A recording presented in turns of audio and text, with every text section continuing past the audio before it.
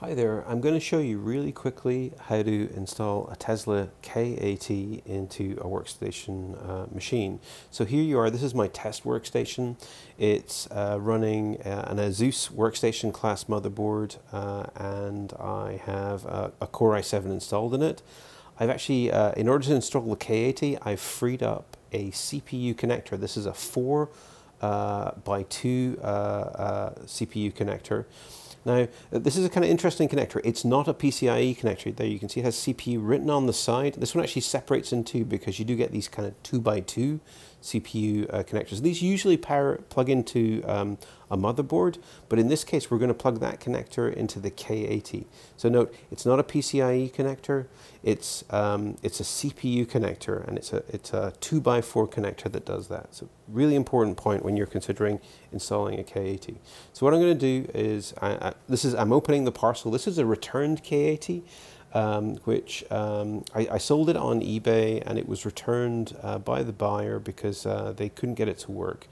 Uh, and we kind of we, we figured out that it's likely to do with how the card is powered. So what I'm doing is I'm, I'm making this video where I'm you know um, uh, unboxing the card and I just wanted to show how to, how to plug it in and how to power it up.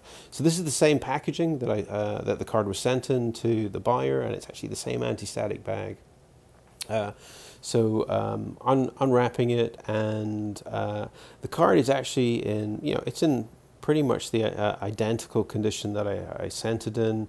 Um, do a quick kind of visual inspection. And the thing that you're looking for on these kind of cards is you want to make sure that all the PCIe fingers look good, that none of them are burnt out, there's nothing, no visible kind of damage to the PCB. So everything here looks great. There's, there's nothing wrong with the card uh, physically.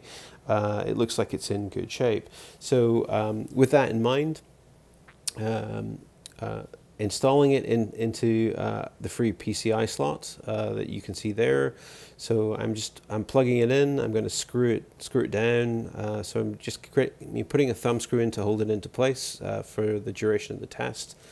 Um, the next step is to plug the CPU connector in uh, to the card. And again, it's a, it's a 2x4 connector and it should be labeled with uh, CPU. Now, one of the things with these is they're passively cooled. So you got to think about how to cool it. Now this case actually has quite a lot of cooling in, uh, in the front. It's actually, there's a radiator there with a bunch of fans on it.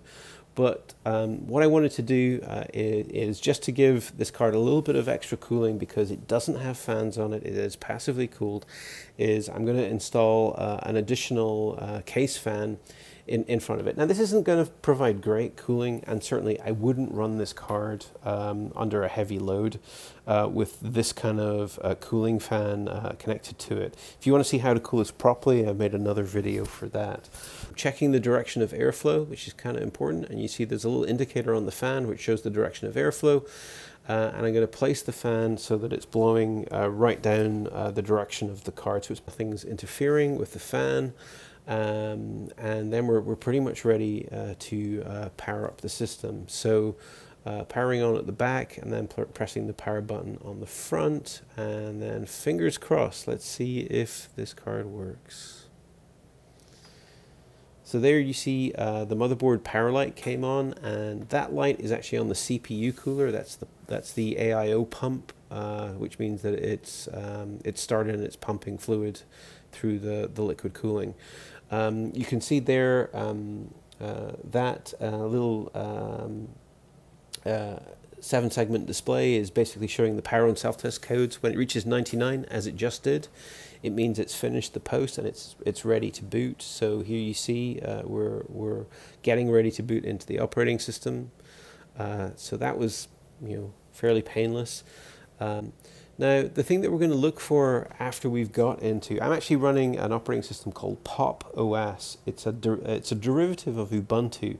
The nice thing about Pop OS is it has things like encryption built in and it also has the NVIDIA drivers as a part of the install. This makes it really easy to set up uh, GPU-based uh, machine learning machines. So Pop OS, you know, try it. It's very cool. Uh, so here we are. We've logged into the desktop.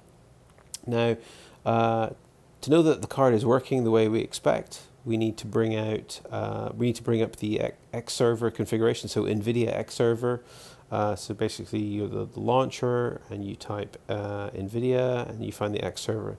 And the thing to look for here is what GPUs are installed in the system. Uh, so you can't see that very well. I mean, I'm moving the camera. So now we're seeing uh, the X server configuration. You can see that there are two GPUs showing up here, both marked as K80s. So both of these GPUs are from the K80 that we've installed because that card actually contains two discrete GPUs, each with about 12 gig of RAM. So you can see here um, how much memory they have, what they're configured, how much uh, how much utilization is currently occurring. We can even get information on the thermal settings. So the nice thing here is I can check the thermal settings and I can see that the card is, you know, it's basically at 40 degrees, which is a very safe temperature for it. So you're okay to power it up as long as you don't put it under load like this. So everything working, um, uh, so card in good condition.